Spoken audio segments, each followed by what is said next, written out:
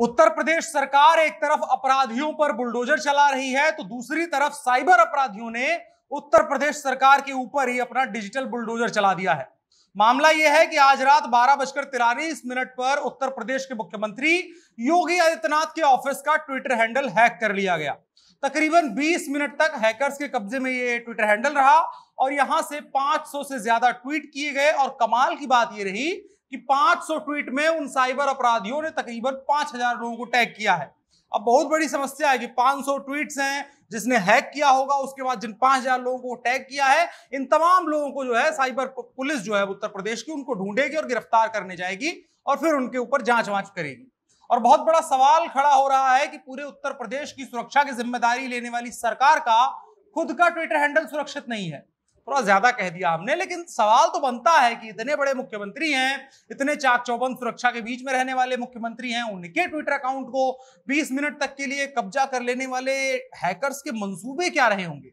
क्या वो योगी आदित्यनाथ की प्रसिद्धि का इस्तेमाल करते हुए वर्ल्ड लेवल पर अपनी कंपनी का प्रचार करना चाह रहे थे? क्या वो हैकर यह चाह रहे थे कि या चेक करना चाह रहे थे कि मुख्यमंत्री अभी जगे हुए हैं या नहीं? क्या वो योगी आदित्यनाथ की सुरक्षा का स्तर चेक कर रहे थे? ऐसे तमाम सवाल खड़े हो रहे हैं। आइए जवाब ढूँढने की कोशिश करते हैं और साथ ही जानते हैं, कल 20 मिनट के दरमियान उन हैकर्स ने उत्तर प्रदेश के मुख्यमंत्री के ट्विटर हैंडल के साथ क्या कुछ किया?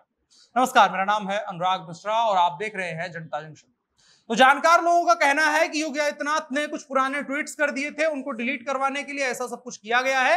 ये अनाधिकृत बयान है, कहीं से उड़ा पड़ा सुनने में आया है। बाकी कल जब हम अपनी किस्मत को बदल देने के ख्वाब के साथ सोए थे तो कुछ लोग महज डीपी बदलने का ख्वाब पाले जग रहे थे। वो हैकर्स थे। उनकी प्लानिंग थी कि आज हमने एक बढ़िया सी फ़ोटो बनाई है एनिमेट करी है तो किसी की डीपी में लगा देंगे ताकि पूरी दुनिया इसको देख ले।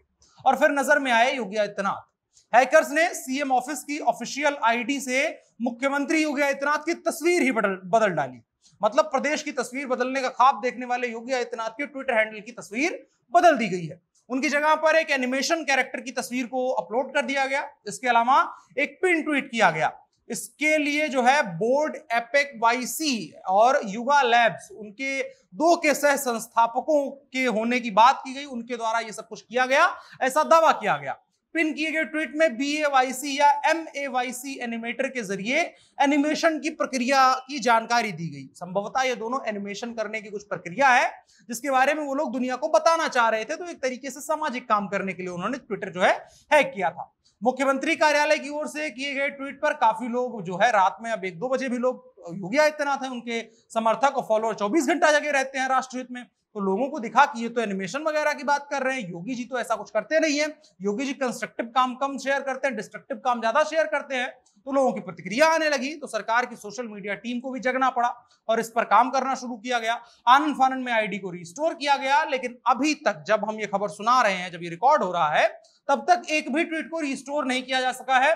पिन किए गए जो ट्वीट में है, उसमें बी ए सी या एम ए सी एनिमेटर के ज़रिए एनिमेशन की प्रक्रिया को बताया गया है। अब सवाल है कि भाजपा नेताओं का हैकिंग से इतना याराना क्यों है? योगी आदित्यनाथ का तो नया नया याराना हुआ है। इसके पहले भी 27 फरवरी इसी साल को भाजपा के राष्ट्रीय अध्यक्ष जेपी नड्डा का ट्विटर अकाउंट हैक कर लिया गया था। भाजपा नेता के ट्विटर अकाउंट से रूस और यूक्रेन की मदद से जुड़े ट्वीट किए गए थे। हालाँकि दूसरे ट्वीट में नड्डा ने अकाउंट के हैक होने की जानकारी यूज़र्स को दे दी थी। मतलब नड्डा तब जग रहे थे या उनके हाथ में फ़ोन था तो पता चल गया। कुछ ही देर बाद इस अकाउंट को रिकवर भी किया गया। इसके अलावा हमारे माननीय प्रधानमंत्री मोदी जी के साथ भी ऐसा वाला गेम हो चुका है।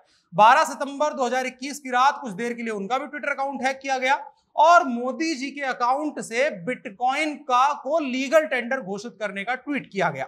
इस ट्वीट में एक लिंक भी शेयर किया गया जिस पर लोगों को जाकर के फ्री बिटकॉइन क्लेम करने को कहा गया था। ये लोगों को बड़ा अचंभा लगा कि प्रधानमंत्री मोदी, जो फ्री में एक पैसा नहीं देना चाहते हैं फ्री में एक चवन्नी नहीं देना चाहते हैं और जो बिटकॉइन वाले पैसों पर भी तीस परसेंट टैक्स लेने की तैयारी कर रहे हैं, वो फ्री में कैसे दे सकते हैं? फिर लोगों ने प्रतिक्रिया दी तो फिर फिर अकाउंट रिकवर किया गया।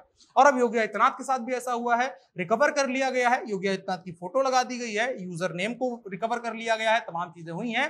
लेकिन जो ट्वीट थे, उनको रिकवर नहीं किया जा सका है। मतलब जो योगी जी के आज तक के बयान थे, जो वादे थे, वो तमाम डिजिटल पटल से मिट गए अब जिसने स्क्रीनशॉट लेके रखा होगा, वो तो याद दिला पाएगा। जिसके पास नहीं होंगे, वो याद ही नहीं दिला पाएगा।